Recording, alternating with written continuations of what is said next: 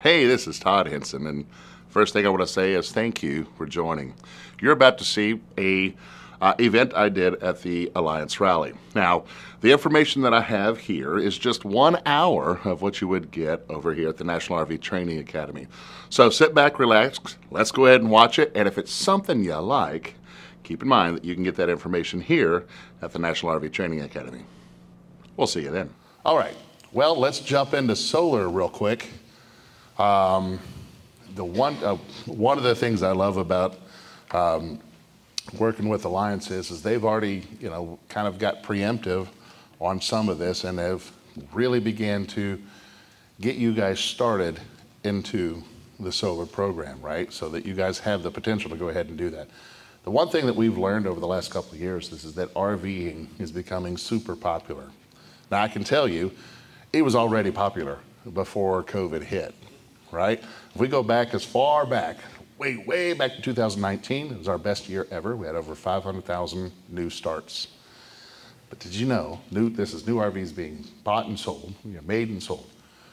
Did you know that 60% of all RVs are private party?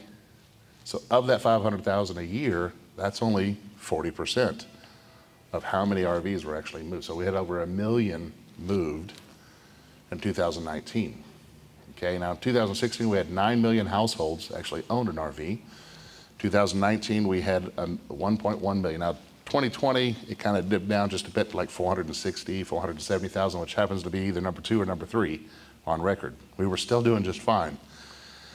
COVID hits, you know, all the restrictions, everything else, all of a sudden RVing, you know, exploded. We're still looking at the numbers, but we're assuming about 650,000 new starts. And again, that's just new starts. But what's not keeping up with this increase? RV parks.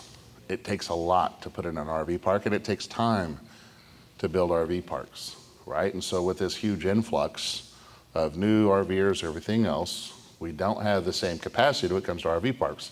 However, there are so many other opportunities, whether it be boondocking, you know, go into Harvest Host, going on the West Coast where there's far fewer RV parks, we have BLM land, you know, Bureau of Land Management, where the government fools you and says it's your land for two weeks, and then it's their land again. Right, but during that, you can, you, you know, we're, we're beginning to learn this. Now, I can tell you as an avid RVer, I get bored, and I, you know, my wife's not here, so I can say this. I get bored at staying at all the RV parks. I get bored at staying at all the resorts right? I mean, like today they were saying the resorts they drive you in. I, I said well, I'm spending way too much money because I go to the resorts and no one has ever taken over my vehicle and parked it for me. I mean, I mean I'm not picking the same resorts you guys are, right? I'm just like, oh, it's the same. It just costs me twice as much. I get bored at going to the RV parks. I'd rather just, you know, for me, so when I grew up, you know, when I first met Stephanie, being in the family, everything else. She goes, Hey, this is what my family does. We do RVs. I said, Great, you do you. I'll do me. Because I grew up in a mobile home. And I equate RVs with mobile home parks. And I remember growing up, you know, my brother, young, he'd sit there, you know, we were looking at, because when I get older, I'm going to retire, I'm going to sell the house, I'm going to buy an RV. This is back in the 80s. Like, why would you ever do that? Right? We're in, we're in a RV, I mean, we're in a, a mobile home park. Why would you ever go back? So when I met Stephanie, I had that same thought. She goes, I do RVs, everything else. And I was like, well, great, you do that. I, I do this over here. I'm not even touching an RV. And it wasn't until she showed me that we can travel, right? So she says, what if you want to be in front of the beach?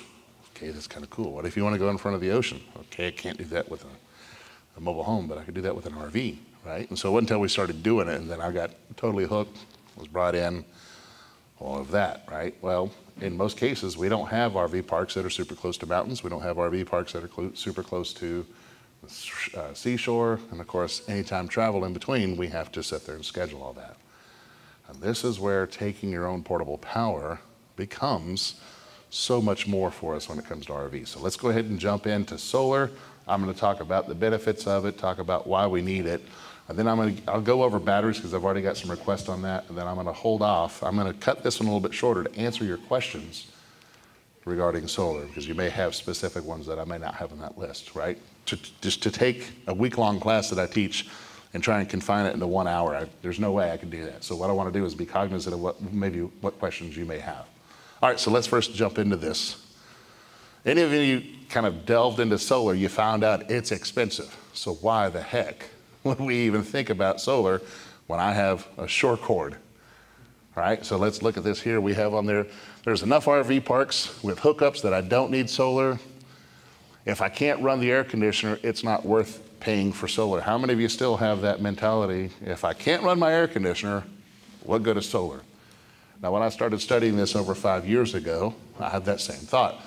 Hey, solar, we just don't have that technology yet. It's a little pie in the sky kind of thing, right? If it can't run true loads, why have it? Well, guess what we can do now? All right, guess what we can do? Not only can we run one AC, but if your RV is equipped with three ACs, you can run three ACs. Okay? We have limited power, but the technology has gotten really great over the last five years that actually makes this worth it. I don't boondock much, so why would I need solar? Any of you fit in that category? My wife is a glamper. She told me, Todd, don't invest in solar unless I can run everything. So what did I hear? Oh, you want, you want me to build a solar system that can run everything. Challenge me. All right, and then finally we'll get into it cost too much. How many of you looked into it and said, oh, no, thank you? That's expensive. Let's start talking about that, right? If we switch over, we'll talk about batteries here in a little bit. You have to switch over the type of battery you have because, of course, with the lead acid battery you have, it's a jogger. It's not meant to handle heavy loads. We just covered that in the first part. We have to switch the type of battery we have that's no longer a jogger but a sprinter, and that's what those lithium batteries are. They can handle high amp outputs and they can handle it continuously. Okay? How many of you looked at the cost of a lithium battery? Right? I mean, when they first came out, let's say about four, not when they first came out, but when they really started getting popular about four to five years ago, they're about $1,000 each. They, thankfully, they have come down a lot to about $950 each. right? And you say, well, okay, Todd, there's that, right? Then you have to have an inverter, and that inverter may cost you anywhere between 12 and $1,500 each. All right, so Todd, if I just invest in a battery and an inverter, I can live off grid, right? Well, no, there's all this stuff in between. Right? Just to cut to the chase, if you want a system that goes from, you know, running everything, you're looking at about $16,000 just in equipment. So I want to first shock you with that number, right? Because if you're thinking about, hey, I want to dabble into this, right? My first question usually, you know, with someone is, what kind of rig do you have, and what do you want to do with it? Well, you know, I have two ACs, and I want to run those. I said, where do you go? Well, I, I like to go to the coast. Is the coast hot? So more than likely you're gonna run two ACs, right? So, all right, hey, look, so I just want to tell you, just equipment alone, $16,000. How many of you want to invest $16,000 into your rig? Just, just knowing that. Some of you do. All right. now, let's do this. The average overnight stay in an RV park, $45 a night. I want you to take 16,000 and divide it by 45. How long do you think that you would have to RV before you get your money back if you didn't go to RV parks? You want me to tell you what that number is? One year. One year. That's all that you're spending. So here's the thought. If you are boondocking, or let's say you're taking your power with you, which is really not boondocking, you're taking your power with you. You are now sitting, you know, taking your RV and you're sitting in front of a, you know, a mountain, you're sitting in front of the coast. You have no reservations. You can go wherever you want. Right, and I will tell you, for us, it's a big deal because I very seldom get away. When I get away, if I come up here, this one, this trip was so short, I had to fly. Right? And believe me, we're at the hotel missing our RV. Okay? We still live in a house, but I live in the RV park, so I'm a full time RV parker. Right? Because I teach all the time. When I get away, I only get away two weeks. And when I travel, I have to travel 1,100 miles. I don't get to live the dream like a lot of you. How far you want to go to? 50 miles? One day I'll get there. So whenever I travel, we travel till we can no longer stay awake. And then we pull over, we wally dock. Okay? And I take the power with me. I don't have reservations. We pull over. I hate the thought of spending $45 pulling into an RV park at dusk, only to wake up at the crack of dawn, pick up and go. That is a waste for me. I am cheap, right? With stuff I don't want to spend money on. Apparently, Stephanie says I'm not so cheap when it comes to tools or solar. if I could save that and take my power with me, it only takes me one year of not spending money on RV parks before I get my ROI. Those batteries, I think those of you that are looking into it, you'll find out that those are guaranteed for 10 years. Your, all, your inverters are good for over five years. Your solar panels are good for 25 years. So even though you put in that money, I'm telling you, you're going to get your money back within 365 days of not staying in an RV park. not saying you're going to do that continuously, right? But over that time, you're going to get it back. All right. So first, want to just go ahead and get that out of the way. Let's go ahead and look into a little bit more about solar. Like I said, I'll, anytime someone asks me, because I get this uh, almost every single time, some of you came up, I was thinking about switching over here, I was thinking about this, what do I need? I'll get to that. My first thought is, what do you want to see yourself doing? How many have been RVing for over five years? And you've been to every RV park there is, it seems, right? And then you have your favorites. Did you know that that's, that's less than half of what we can actually see right? That's less than half of where we could put our RV. If you could take your power with you, wouldn't it be great to be at the foothills, say, of the Grand Tetons? Okay, now, you gone to the Grand Tetons yet? A lot of you have. I mean, 20 miles away is the closest. I mean, there is like one little hundred, little uh, little hundred uh, uh, site RV park, real close. Everything else is 20 miles away. So you travel a lot just so you can get in your truck or Ram and drive over to the Grand Tetons, right? But do you know it's at the foothills, uh, right at the base there, BLM land, right? Cost you nothing to get in there in two weeks. Definitely worth it. Definitely worth it, okay? Uh, showing up on the beach. I'm in Texas. We've got over 60 miles where you can foolishly park your RV on the coast. Right? I say foolishly because I still watch the, you know, the pictures of people who get too close, don't think about tides, and they come in. But the same daggone people that will go swimming and get eaten by a shark, and then everyone goes, that's funny. We haven't had a shark attack. And I'm like, uh-huh, I watch it. Every year there's a shark attack, right? Florida, how many RVers you go to Florida? How many of you want to go to Florida? You know, Florida's trying to kill you, right? sharks, alligators, fallen coconuts, snakes. This is why people go to retire, and by retire, they mean die. Florida's trying to kill you. All right, you can take this almost anywhere, okay? For Stephanie, all we had to do was two trips, and it changed, you know, her thought of my spending that much money. How dare you? Well, you said you didn't want a solar system unless you can run everything. So that's what I did. I built a solar system that runs everything. All right, for us, travel days. Typically, when we take off, we go to the we go south. She likes to look at the ocean, which I have no clue why. Right? But whenever we show up, how many of you dread, you know, getting set up only to wait four or five hours for your air conditioner to catch up? If you have a solar system, like what we do, we run our air conditioner while we're going down the road. Right? I call it you know, AC prep. So whenever we put our landing gear down, get our slides out, it's 70 degrees when we walk in. And it cost me nothing. You know, there was that initial part, a little steep, but take that with me. And you'd be surprised at how much that changed her outlook on travel days. Okay? Like I said, for us, we, we tend, you know, not to spend those overnight travel days, you know, go into an RV park. We'll go to the local Walmart or something like that. And when I first started this, I would say, you know, my RV will never, ever, ever darken a Walmart parking lot. And then I did it once. Oh, how awesome was that experience? And I said, all right, this is what we're going to do from now on. How many of you have done the Wally docking? Do you like it? I mean, think about this. All Walmarts, what's real close? There's always a McDonald's and there's always a, you know, a, a Starbucks I wake up early, you know, the kids are still asleep, Stephanie's still asleep, so I get up and I go into Walmart, right? I'm a people watcher. I start counting how many people still have their moo on, right? there was seven in this old Walmart, yeah. Wait for them to wake up. We walk over to McDonald's, because come on, let's face it, they still do a decent breakfast, right? And then get our coffee, walk back in the vehicle. Here's the thing I don't even unhitch. Pull out the slide just a bit so we can get past it. I put my front landing gear down just to relieve because I have a Dodge. I don't want that pin weight sitting on that truck all night, right? Just put down my landing gear just a bit. But seven o'clock, wake up, take off. All right? Oh, I love those days. There's a lot of intangibles when it comes to solar, but you know, my job isn't really to convince you of the solar.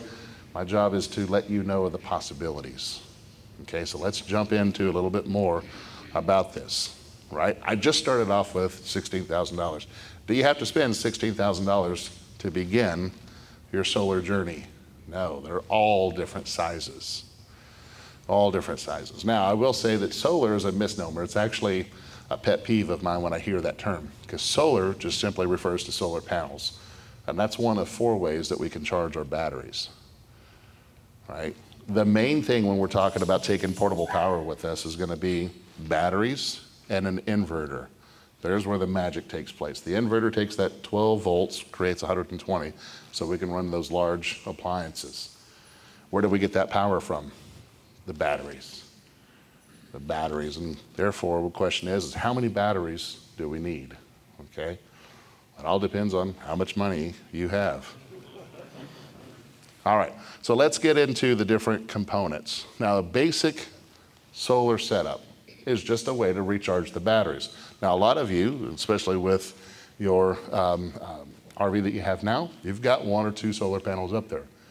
And guess what they do? They go ahead and top off that battery. They keep it charged as long as there's not a huge load. Right? Most solar panels, they're rated based on their watts. What's their watt output? 100 watts, 200 watts, 300 watts. You just learned from the first section, right? All I do in order to figure out watts is I take the voltage out, divide that, you know, the, the watts by the voltage, and I get my amps, whichever, right, in order to get that number. All right, so we're just looking at our solar panels. Our solar panels are just one of four ways for us to actually charge our batteries. Did you know your solar panels? Do you have to match your solar panels, the voltage from your solar panels to your batteries? Does it make sense that we do that? No, no. No, you don't have to, but does it make sense? Yes. Yeah, it makes sense. Our batteries are kind of particular, right? We have to have a certain amount of voltage to charge those batteries.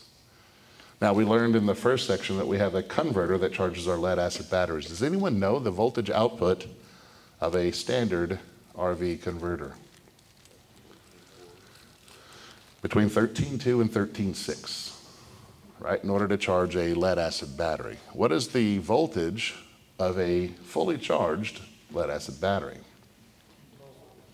12.7, 12.6, 12.7, okay? Now, I just want you to think of this, right? If I took a charger and I only charged at 12.7 volts, I've got a battery that can produce up to 12.7 volts. The two meet. Which one wins? Same amount of pressure, right? Neither one of them wins. So my converter cannot fully charge a lead acid battery at 12.7 volts. It has to overcome the pressure from that battery. This is why your converter charges at about 13.2 to 13.6. Small amount, a little bit more internal resistance, right? We're charging those batteries. You guys asked about batteries, I'm sorry. All right. Now, does it make sense where I'm getting back at this, right? Does it make sense that we have these solar panels up there? Does it make sense that we go ahead and match that voltage in some way? How do we take a solar panel? Well, what voltage comes from a solar panel? Does anyone know? It varies. What does it vary on? Well, you got series and parallel. Okay, beyond that, what varies if I just had one panel? Sunstrike. All right, so I want you to think about this. With solar panels, what are we actually doing? We're taking energy from light and creating, of course, a charge. All right, so let's think about this. I have a solar panel sitting on top of my RV and I've got the sun coming up in the morning. Is the sun coming up in the morning enough sun strike in order to create enough voltage to charge my batteries? No. Once the sun gets to a certain point, then I've got a certain amount of voltage coming out. Okay? And then it goes down. I have all this varying voltage in between. Can I tell you, there's no solar panel out there that is rated at 12.7 volts. There's no solar panel out there that's rated at 13.2 volts. They're strangely way higher, anywhere between 20 volts all the way up to 60 volts. Do you think 60 volts is too much to charge my batteries, too much pressure to charge my batteries safely? Yes. So there should be some type of device between my solar panel and my battery. What do you think that device is? A charge controller, right? What does a charge controller do for us? Regulate. Regulates, kind of like a converter. Now, a converter does what again? Converts Converts AC to, or DC to AC. AC to DC. All right, high voltage to low voltage. A converter takes high voltage and creates low voltage in the RV space, right? 120 volts down to 12 volts. Do you know your solar panels can get upwards of 120 volts, get up to 150 volts? So when I say a solar controller, I want you to think converter. Right? It's going to take that high voltage, step it down to battery voltage, and change it to battery voltage. All right, so you have a solar panel, you have a solar controller, and it's doing what for us again? Just simply charging that battery. Okay? Now, what does the battery do for us? Storage, right? Potential energy. All right, so we have this thought. Okay, I want to take my RV out. I want to go ahead and, you know, live off grid. I want to take my power with me. Now, if I have a ton of solar panels, I can figure out, okay, well, I just want to run my TV. My TV pulls about 150 watts. Can I get away with that if I had a, say, three 200 watt panels? I got 600 watts coming in. Got an inverter. Can I run a TV that is only pulling 150 watts if I have 600 watts on the roof? Sure. Until when? Until the sun goes away. Right? Because those are solar panels, not lunar panels.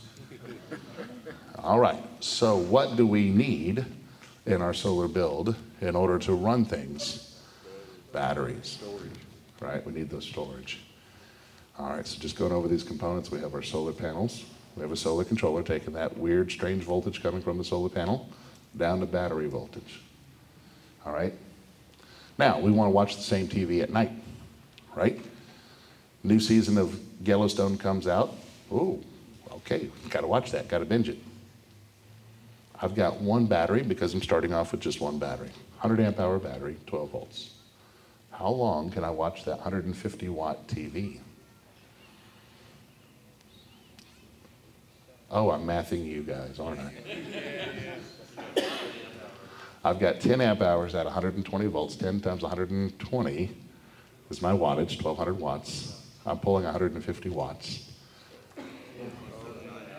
Just enough to get through a season. Right? Now my battery is DEAD. Can I run anything tomorrow? No. When the sun comes up, where is all that electricity going? To the battery, not to the TV. So I always get questions how many batteries do I need? Well, two things. How much space do you have? How much money do you have? You need all the batteries. all right. So let's start looking at our components here, right? So we've talked about our solar panels. We've talked about just a little bit about our solar controller. Going over to our batteries, we need a certain amount of batteries based on what we want to run. Now let's look at the biggest thing in the, in the whole solar panels, or in the solar system, and that's going to be our inverter. Our inverters are rated based on a certain amount of wattage output, right? You buy that based on the wattage output. Can I get a small inverter just to run one appliance? Sure. And whenever the first, when RVs first started coming out with inverters, we ran one appliance. What was that one appliance? Our fridge, right? Ran our fridge because we wanted our food to stay cold as we're going down the road, whichever. All right. After a while, we figured out, well, it could do more than the fridge. So we get a little bit bigger inverter or something like that. Hey, while we're out there, can it run the fridge, maybe the TV? Because as RVers, that's what we should do, right? Stay in the RV and watch TV all day. But can that inverter, can we get one big enough to run, say, some of our bigger components? Let's, let's start talking our coffee. Can it run our coffee pots? Can it run our air conditioners? All right. So now we start putting all this together. So our inverters are rated based on the wattage output. Okay?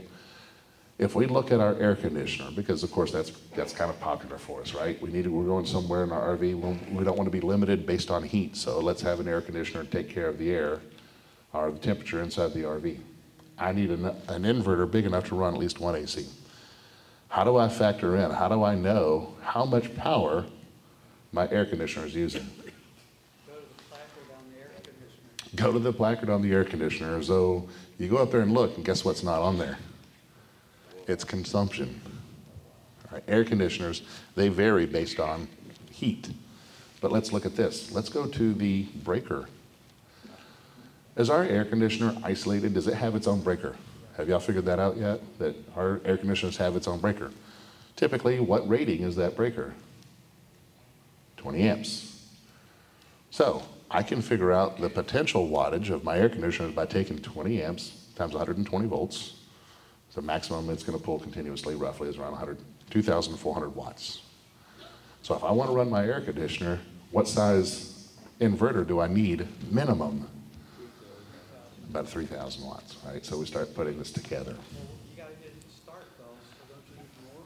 Well, it all depends. Right, so there is something when we talk about the startup, there's a way around that. Right, so, yeah, we do have startup, we call it LRA, locked rotor amps, just like anything else. Have y'all figured out the older you get, the harder it is to get out of bed? Anyone still get up like you're a spring chicken, jump out of bed and go? What have you learned? I know, for here's my, you know, I used to be able to get up, take off. Now I get up, I have to sit at the edge of the bed. And then I have to like tell my knees, hey, I'm up. I'm about to put a load on you. Are you awake? Right? Because there's been a couple times I got up thinking that my, le- my knees would respond, and my knees said, what? And it goes straight down to the ground. I also have to help myself get out of bed with my hands. You know your air conditioner has the same problem? When your compressor kicks on, it needs help right? This is what he's talking about here. We have a capacitor on there that actually hits that compressor with about 60 amps in order to get it going. Average compressor in the RV space needs about 60 to 80 amps just in the very beginning to get it going. He's saying, well, Todd, if you have a 2400 watt or 3000 watt inverter, is that enough to hit that 60 amps? No. But there's ways around that. That's where the soft start comes in or something like that. All right, so I know that I'm kind of running some numbers around you, but this is how we actually put this together, okay? This is how we put it together. What do you see yourself doing? What components do you need? Let's just look at batteries, because I know that this comes up quite a bit. When we're talking about taking um, our batteries and making them into high performance, you know, from 12 volts to 120 volts, we have different options. This is what I love about the Alliance fleet. Okay, depending on which model you have, it already comes with a lithium battery. I have up here just a. Whoop, sorry, I'm off one one slide here. I'm, I have a comparison of what our lead acid batteries perform at. Let me give you some information. I think you already know this.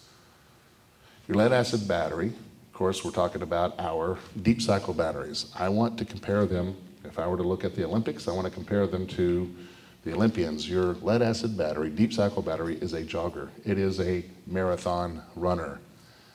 It is not built, it is not designed for us to handle he- heavy loads. It is not a starter battery. Your starter battery, like a sprinter, hard and fast out of the blocks, doesn't run very long. Your deep cycle battery, jogger, can handle small loads very long time, right? It can run that light, it can turn on that fart fan, run that fart fan for a while. Now, we're talking about using an inverter that takes 10 times the amperage in order to go from 12 volts to 120 volts. Is it smart for us to use a jogger type battery in order to perform that? No. Your standard lead acid battery, continuous amp output is about 45 to 50 amps. That would be four to five amps at 120 volts. Right? In order for me just to run my air conditioner, I would need four lead acid batteries and cross my fingers. All right. What do we know about lead acid batteries? We know that they put them on the outside of the RV. Why do they put them on the outside of the RV? They off gas, right? We have a chemical reaction inside there. I have water, I have electrolyte. I'm just moving the electrons from the anode rod over to the cathode rod. In order to do that, I have to use water as a medium. Well, I pull out the hydrogen when I do that, right? I separate water.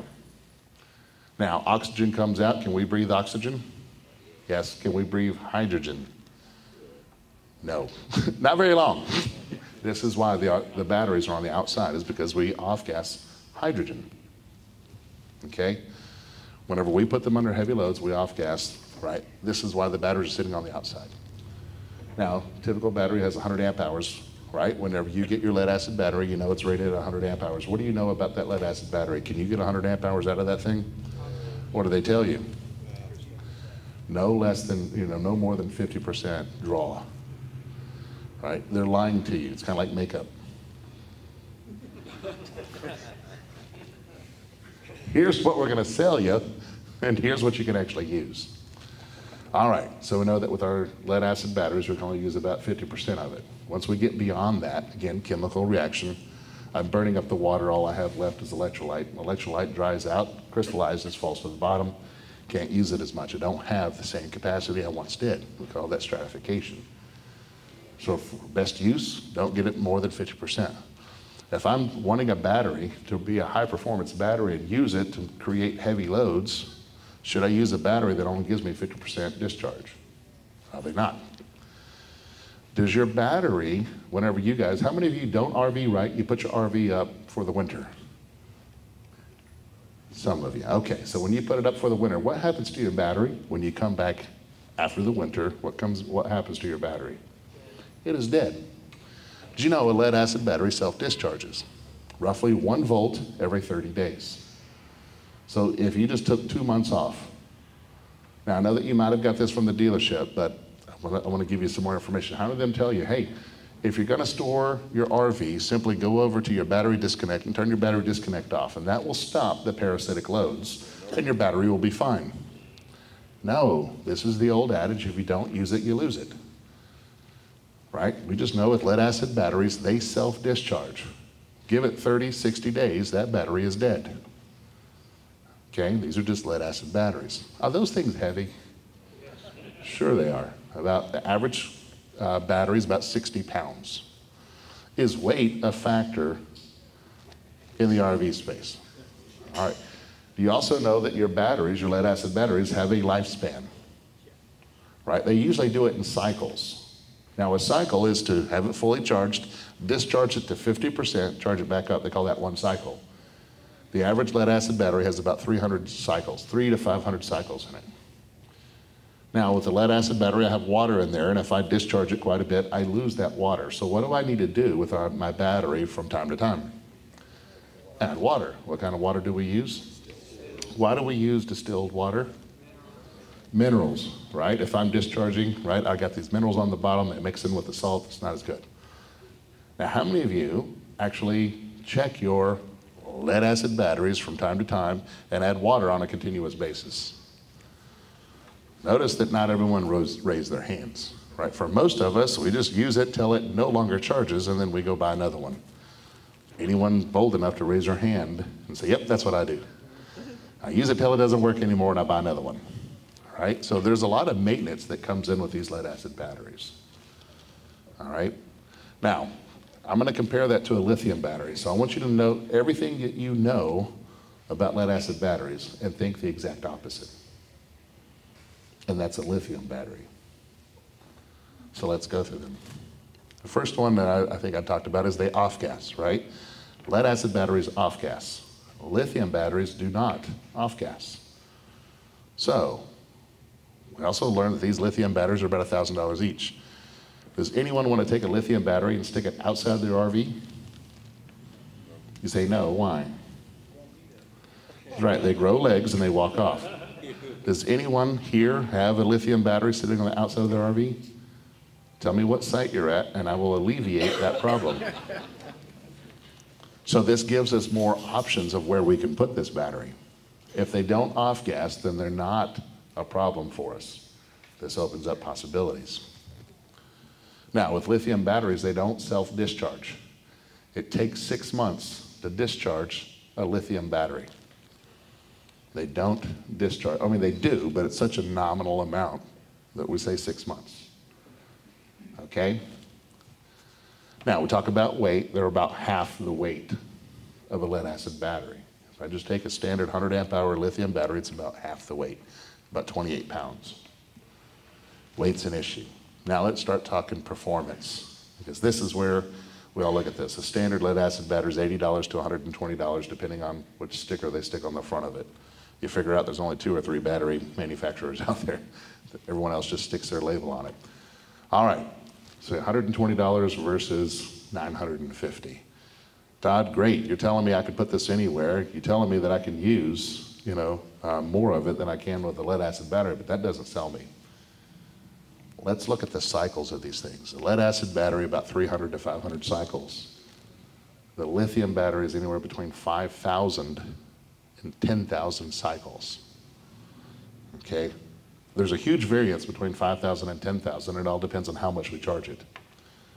This is simple to understand. If I asked you guys to sprint to your RV, show of hands, how many of you think you can make it to your RV in a dead sprint? Is yours right outside? I got about six steps in front of me on a sprint before my leg goes out. All right, now if I asked you to jog to your RV, how many of you, show of hands? A few more. If I asked you to walk to your RV, still more. The same is true when it comes to batteries, right? If I charge them up 100%, I'm only going to get so many cycles. If I back that down just a little bit, I can nearly double my cycles. Now, a cycle again is, you know, to be 50% discharged and charged all the way back up. Oh, by the way, lithium batteries, I don't have that false bottom.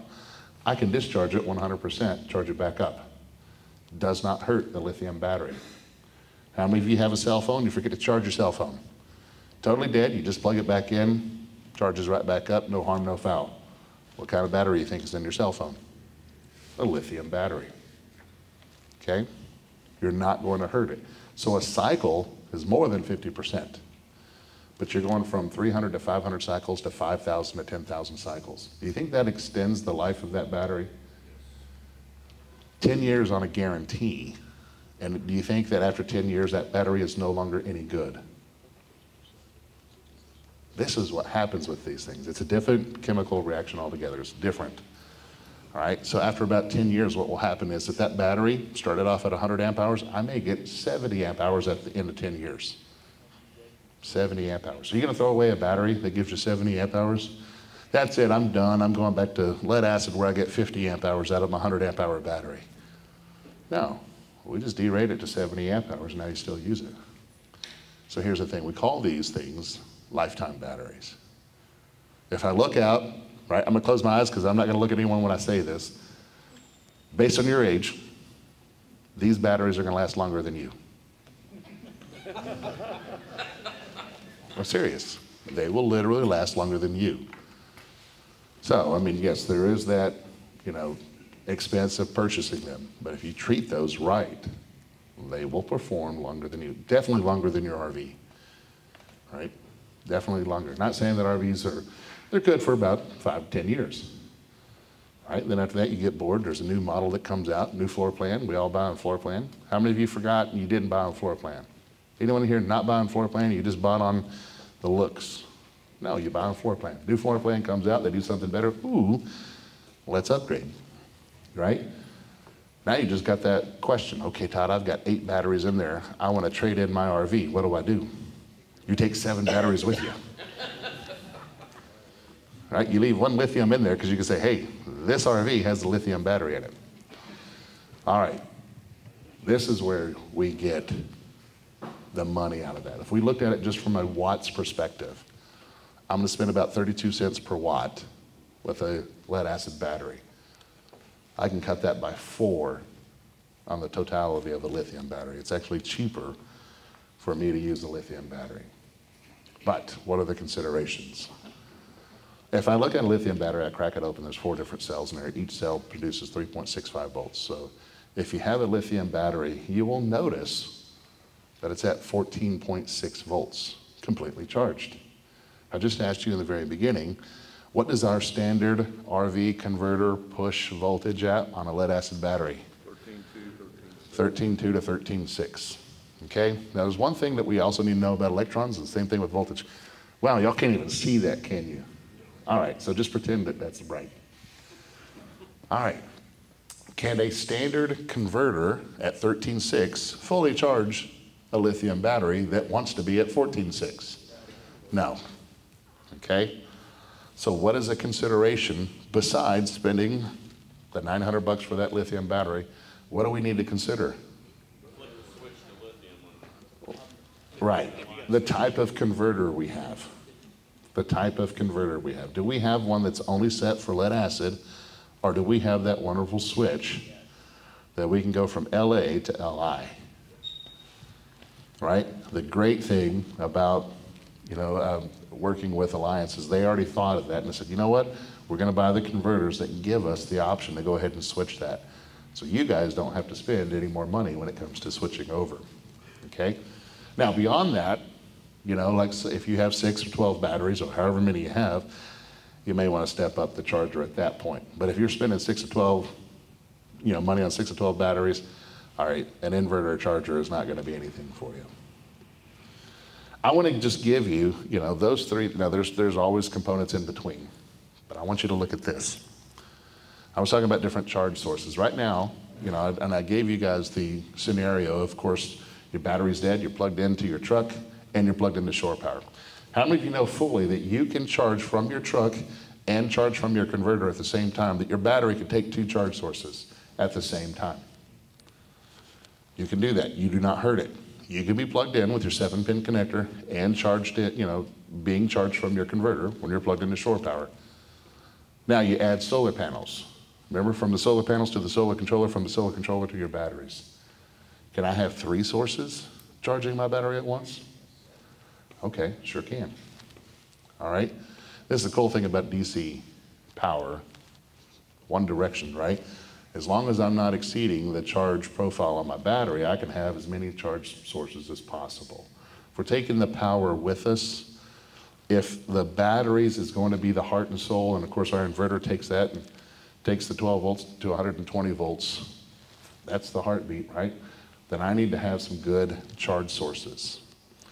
If you have an alliance, switching over to lithium batteries, not that big of a deal because most of you already have the converter that will switch over. If you do not, now you need to consider going with, you know, a particular battery charger that handles lithium.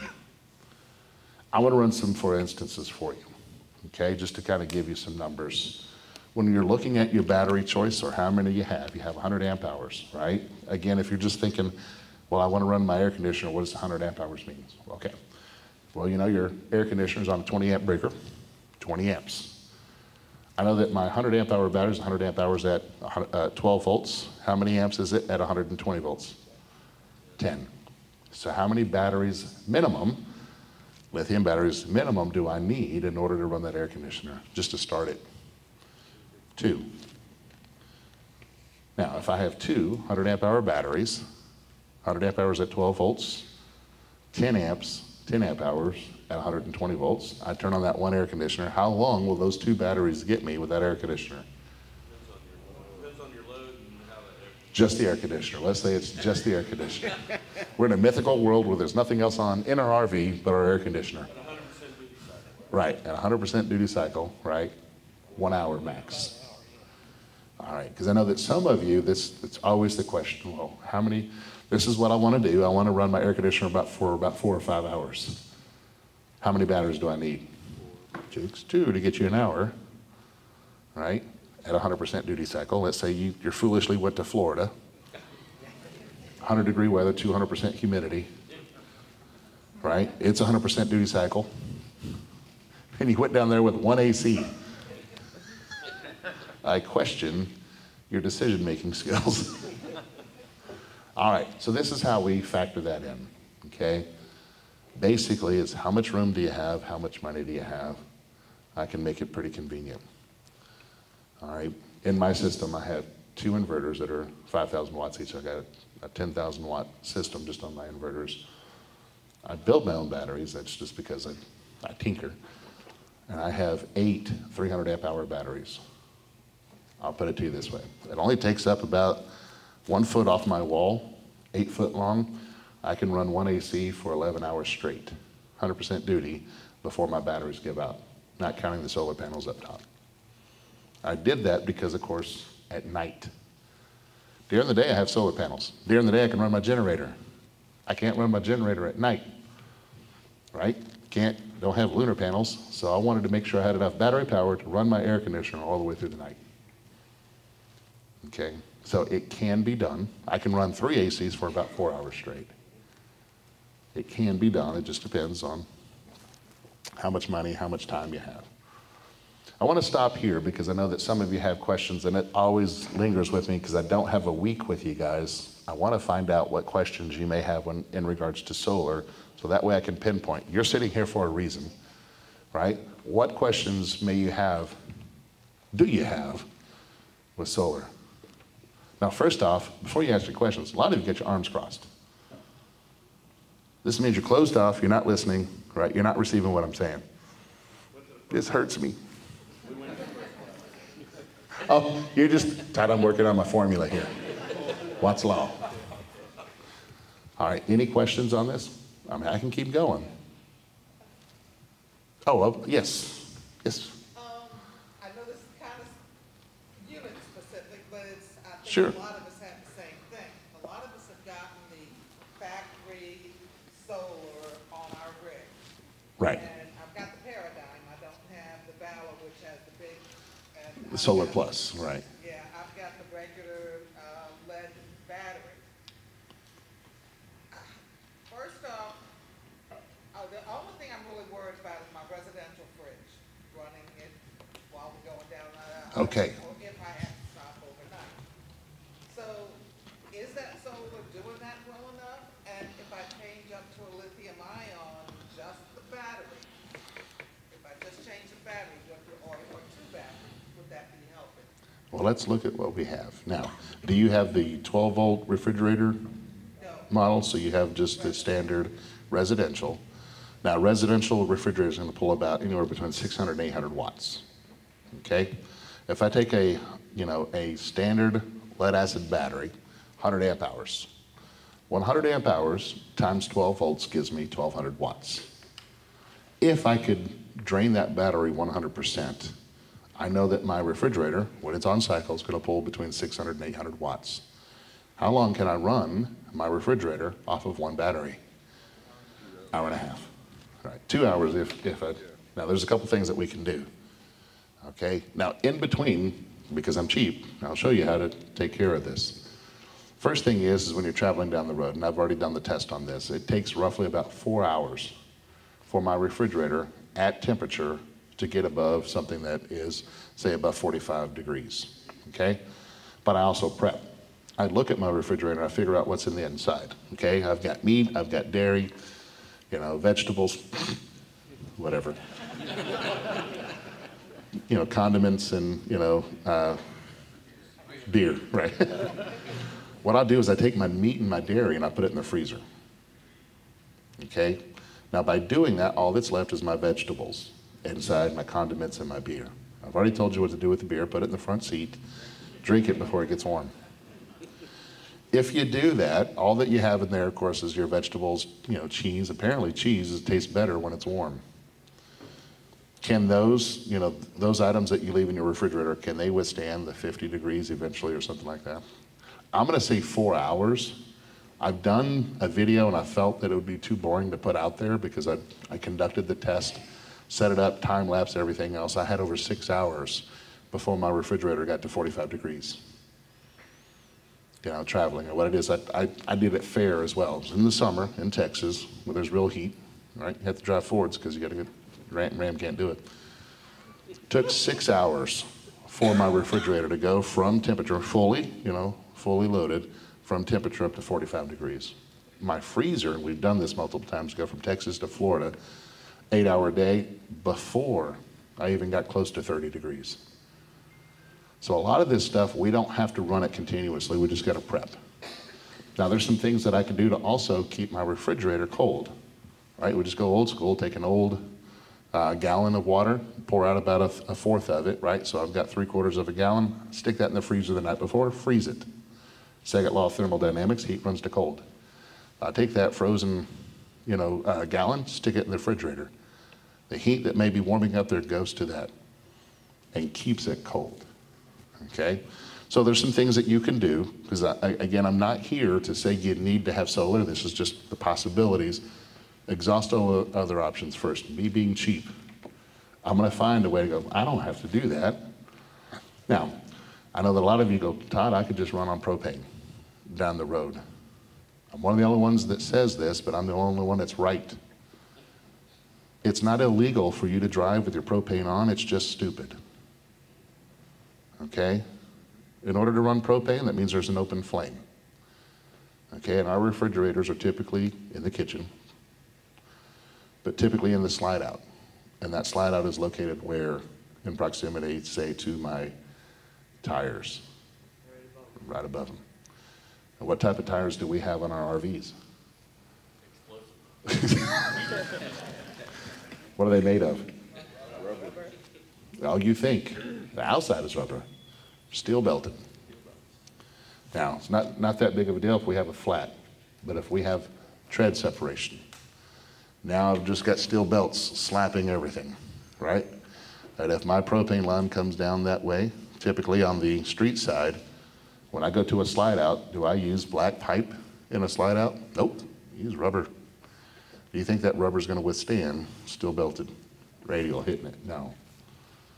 Okay, we have more fires in the RV space because we think that it is okay for us to drive down the road with our propane on. I'm not saying that you're gonna explode. Heck, I, I get people all the time, Todd, I've been doing it for twenty years. Okay, you're an exception. It happens, it, it can happen, right? So I'm not a proponent of you driving with your propane on.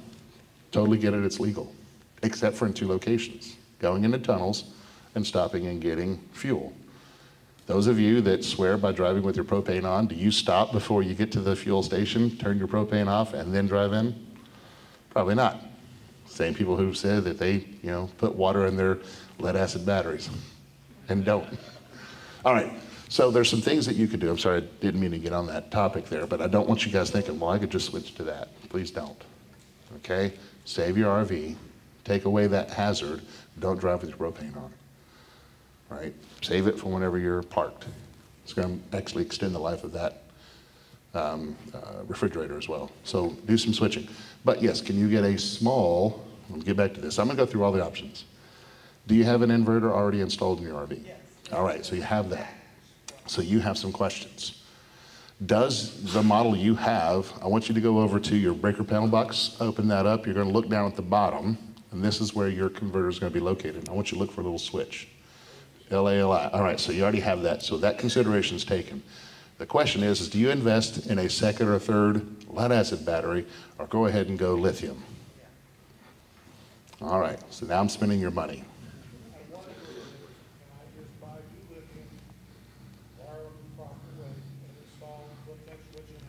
Yes. That's all that you have to do. Now, one thing I would say, if you're going with two lithium batteries, there's going to be, you know, those cables that you make, just make sure they're the same size, same length. Right? Treat the two batteries, act as one. Somebody told us, uh, and this is something else that, I don't know, that if you're char, when you're charging lithium through your camper and your truck is plugged in, it'll backfeed into your Yeah. truck and could damage your truck.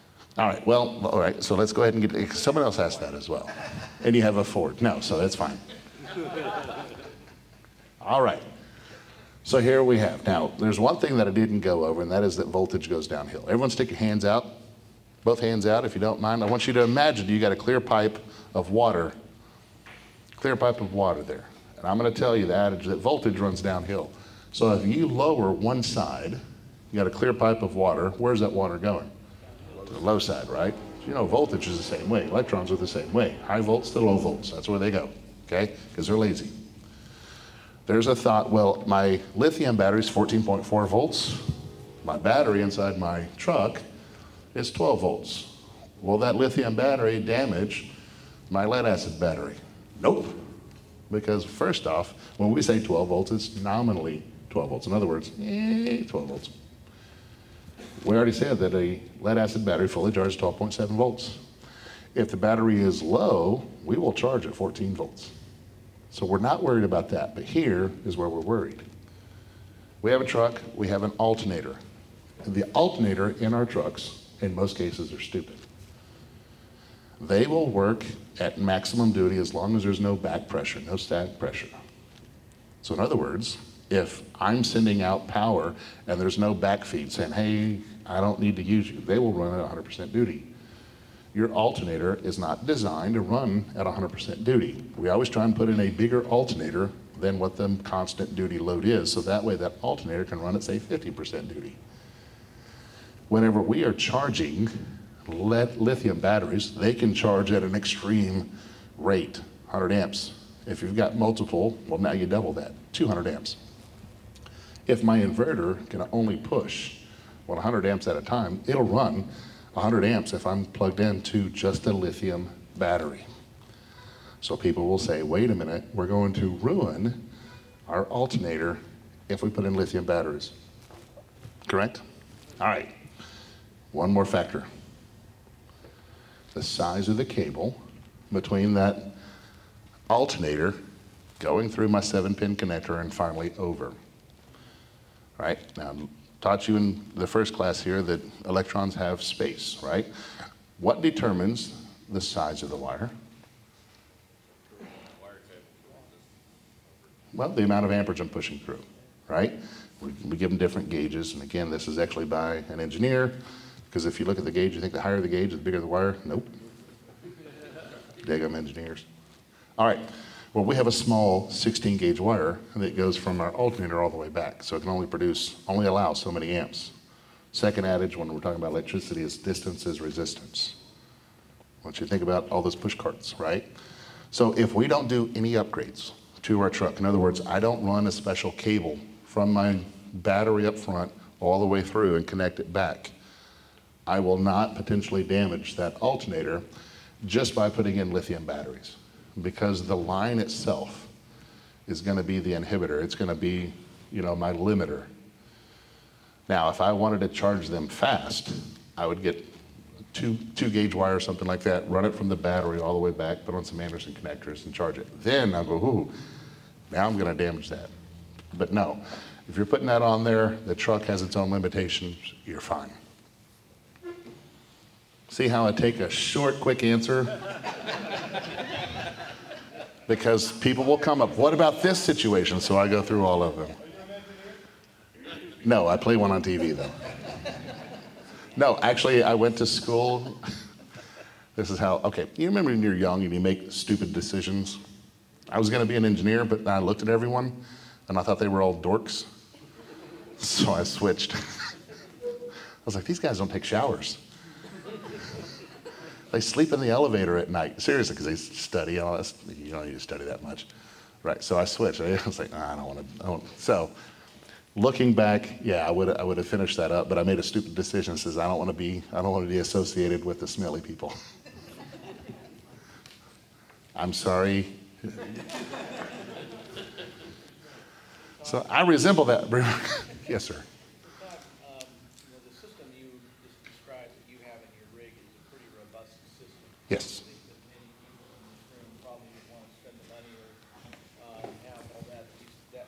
equipment. Yeah. Uh, What, what would be, let's say, a middle-of-the-road system that's a little bit more robust than just one lithium or two lithium batteries? What would you suggest to this group of people, given, you know, this, this demographic? So, right, and, I- and, I- and I said there's all different sizes, right? So it all depends on what you're doing. So I'm still going to dance around this, but let's do this. Let's just go with one inverter, 3,000 watt inverter. I can run one air conditioner or one microwave. Can't run them both at the same time, right? And all depends. Now, the thing about lithium batteries, oh, another great thing, I can add more batteries later on. When I have that extreme life cycle of 10,000 cycles, I've got a flat discharge curve, I can add another lithium battery a year later, another lithium battery a year later. Right? So what I want to do is I want to look at, say, my inverter, and I would say get a 3,000 watt inverter. Okay, that's just the standard. I can run the whole house. I can run the air conditioner or the microwave, right? Some other things on there. In order for me to get 3,000 watts, again, I look at my battery. My battery is 100 amps. That's what it can push continuously, or 10 amps. In order for me to get 3,000 watts, I need three batteries. So if we set a system with a 3,000 watt inverter, a minimum of three lithium batteries, things in between there, you're looking at about $6,000 in equipment. So, the reason why I asked the question is I have seven hundred and twenty watts on the solar on the roof. Okay. I've got a multi-plus three thousand watt inverter, and I've got four Battleborn one hundred amp hour batteries. So you make me feel better now. Oh, yeah. Right, I, and here's the thing, okay? Because when you dabble, I will say this solar is an addictive drug. Seriously, it's an addictive drug. You're going to start off, well, and this is what I, you know, you know, this is what I'm going to start off with, and basically, this is what I'm going to budget for. You know, and then you get that two hours. You're like, oh, this is great. This is awesome. I did that with, you know, Chad. We set him up over at Changing Lanes. He gave me a call after one hour. Todd, this is so awesome. I was able to run my AC. It was all that great. I need more.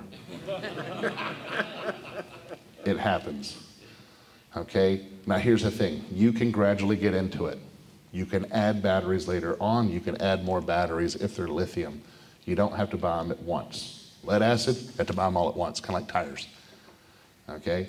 Solar panels, you can start off with a smaller amount and continue to add. The key factor is, is buying the right size inverter to whatever it is right now. Okay? Yeah, but you're looking at about six grand, seven grand in materials in order to be off grid for a couple hours a day.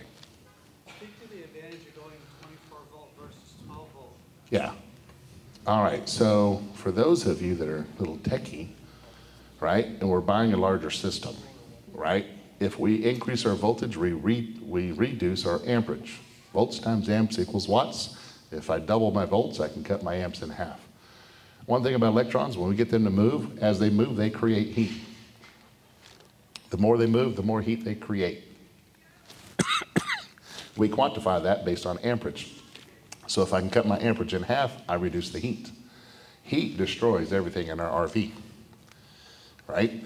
So if I can lower the amperage, I can reduce the size of the wire, which I'm not big on, but I can extend the life of those cables, right? The advantage is, is I'm reducing the heat. If I'm building a system, I'm, I'm, I'm gonna get in the weeds here. When I build a system, I always over cable because the goal is if I run that thing full bore, I should only be about 10 degrees above ambient temperature. What's acceptable on these cables is 90 degrees Celsius. It's 140 degrees, right? 70 degrees Celsius, 140 degrees. That's going to melt that over time, right? To me, when you get into a huge system, yes, 24 volts to cut the amps in half, but I mean that's something we'll cut. You know, I wouldn't say on a on a single inverter, it's not worth not worth it. Okay, so all right. Yeah, it's either or. Any other? Yes, sir. I have a question for you. The unit that That was the. That's why you raised your hand. Oh, you're gonna love my class.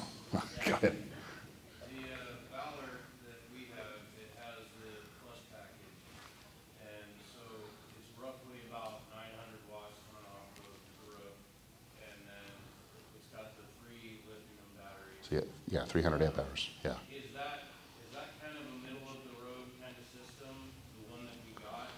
Uh, Sure. Based on the answer for this gentleman over here, it seems like that's kind of, even though it's our plus package, it's kind of sounding like that's kind of halfway there for, uh, in general, trying to get, you know, wanting to run everything. Again, I'd go back to what do you want to do? I mean, are you the type that doesn't need the air conditioner? You RV right? In other words, you travel where there's 70 degree weather. You don't have to run three ACs. Your RV has wheels. I was actually gonna ask you if, you know, based on what you said with your system, is with the plus package, uh, because we have some long days coming up after the rally. Right. Is, um, i- is this system set up to where we could actually travel while we're on the road with the AC on? Or are we kind of pushing it a little too far? Well, uh, and again, with your plus package, is it a 3,000 watt inverter that's in there? Yes. Okay, so you can run your air conditioner about an hour and a half full cycle, Okay, right? So probably about three hours, if we said 50% duty. You know, and for a lot of people, three hours of travel. Now, the thing is, is if you got an eight hour day, Are you gonna turn it on in the very beginning? Right, okay. Do you stop in those six hours? Oh, yeah. Right. So when we first started, it was, we'd run our generator. By the way, if you have an onboard generator, guess what you can do traveling down the road? Turn your generator on, right? So we got in the habit, our last stop, two hours out, then we would kick on the air conditioner, right? If I'm limited. Right. Yep, you can do that from, yeah, depending on the system you have, yeah, you can do that, right? So, you know, I mean, it's not about, you know, is my system big enough? It's how long can I run that? And then can I adapt to that? But if you start doing that, right, two hours isn't gonna be enough. This is great. What else can we do? And that's, that's why I set that vision in the very beginning. Literally, it does change your RVing, right? Your experience. And now, if you're brand new to it, this is great. You want to get into it, great. But if you're kind of in a rut, believe me, when you do something like that and you, you basically have, you know, endless stuff that you can run for six, seven hours a day, man, this changes. Oh, now we can do this. Now we can park over here. Now we can stay over here. And it changes how you RV. Right? And I used to do seminars on which RV is right for me. I like, you know, they're like, I've been, you know, in a fifth wheel for years. You know, should I switch? Sure, it changes the game. I still haven't driven in a motorhome because I have a bucket list item. I want to do the hot swap. I want to be driving down the road going, I need to go to the bathroom, take the wheel. I think that's awesome. Yeah. Um, just for the audience, address the safety issue of lithium iron phosphate batteries. Okay, so there's a question because some of you, you know, with your Dodges, you bought Samsung phones. Now, there's different types of lithium out there. There's lithium iron phosphate, there's lithium cobalt. And whenever we started really dabbling into this, lithium cobalt is the most dense material so far that we have found that we get, we produce the most amount of power. The problem with lithium cobalt is, is it's kind of volatile. So when lithium first hit the scene, we started putting them in cell phones and we used lithium cobalt. Man, these batteries would last forever. The problem is, is because if we added just a little bit of heat or don't let them vent, they would go into a thermal overload, right? Stick them on the pillow or something like that, your pillow catch on fire. Well, we switched over to lithium iron phosphate about five years ago. Far less volatile. Far less volatile. But this is the reason why, whenever you go on an airplane, guess what you have to do? You have to take your laptop with you. You have to take your cell phone with you. You can't put it in your travel bag. Okay? Now, they've got other reasons for it, but, you know, putting that up there. Lithium iron phosphate is far superior when it comes to safety over lithium cobalt. You may just hear lithium ion, it's lithium, iron, phosphate, different chemical altogether. Pretty daggum safe. And they put controllers now in the battery. The BMSs, yeah, and they shut down. Now, for those of you that have lithium, okay, and I'll, I'll end with this. Are we almost done? Yeah. Okay. There's one thing that you need to know as an end user. Yes, we do have these BMSs in here, okay? The BMS protects the battery, and this is how it protects. I want you to think of just a, a relay, a switch. So too much voltage that goes out, too much amperage that goes out, or anything else, that BMS will go to sleep. That's what I'm gonna call it. It goes to sleep. It shunts the power. So you go from 14 volts to zero volts. And it happens like that, right? You have to have another charge source to wake it back up. This is 12 volts. How many of you had your laptop, something like that? Something goes wrong with your laptop, you call the help desk. What's the number one question that the help desk, IT help desk, asks you? Have you turned it off, turned it on? Now, I say that 12 volts is the brains of the operation. That is true. But with brains, we have brain farts. How do we reset 12 volts? Turn it off, turn it back on. You know, so you never have to do that with 120 volts, but 12 volts, you do that. It's the same thing with these lithium batteries. They put technology inside that runs off 12 volts. It goes into protection mode, it goes to sleep. And you go from 14 volts to zero volts. And I get this question a lot my battery's just dead. No, it's not dead. Inside, I've got a little circuit board that simply just opened a switch and says, nope, we're not letting it through. The way to wake it back up, provide 12 volts, kind of shock it. So those of you that have lithium batteries, all of a sudden they die, try and plug in your converter to shore power. Plug in your truck or Ram. Seven pin connector to wake that back up. You have to wake them back up. All of a sudden, it goes from zero to 14 volts. That is the one quirk that we have with these lithium batteries, you know, that a lot of people don't know. It's like, my batteries are dead, what do I do? If we can supply another 12 volt charge to it, you'll be amazed that they just simply wake up. Energy can't be created or destroyed, we can only change its state. It doesn't go anywhere, it's just asleep. Yes? You kept throwing the term BMS out. What's- Battery what- management system, BMS. So most lithium batteries you buy, it's internal, it's already there. It's not something you buy, it's just, you know, we're having to let you know because it adds a new quirk. My battery's just dead, what do I do? All right, yes, ma'am. Time. Oh, I picked on my wife. I was, she had a question. I thought she was gonna learn. Todd, teach me solar. All right, you wanna finish up here? Yeah. All right. Everybody give it up for Todd. Isn't he awesome?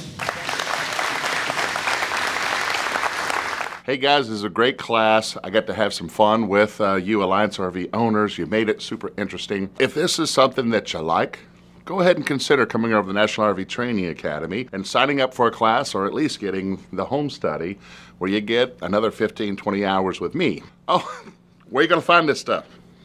Down here in the description. Just scroll down. Right there.